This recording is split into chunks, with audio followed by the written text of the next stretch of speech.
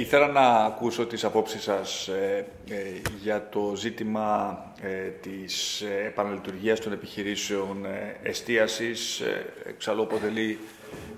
κομβικό ορόσημο για την επαναφορά σε μια νέα κανονικότητα.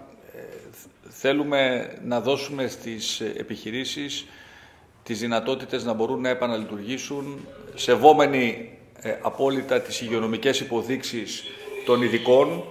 ε, αλλά μην βάζοντάς τους και τόσο αυστηρούς περιορισμούς που στο τέλος θα καταστήσει ε, ε ανέφικτη την ίδια την ε, επιχειρηματική δραστηριότητα. Έχω μιλήσει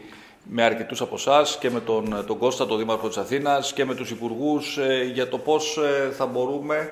μέσα από νομοθετικές παρεμβάσεις να δώσουμε επέκταση στους ανοιχτούς χώρους εστίασης πάντα με κανόνες που θα σέβονται τα δικαιώματα των ε, πεζών στους δημόσιους χώρους, αλλά δίνοντας ταυτόχρονα και την ε, δυνατότητα στους καταστηματάρχες να μπορούν να σερβίρουν περισσότερο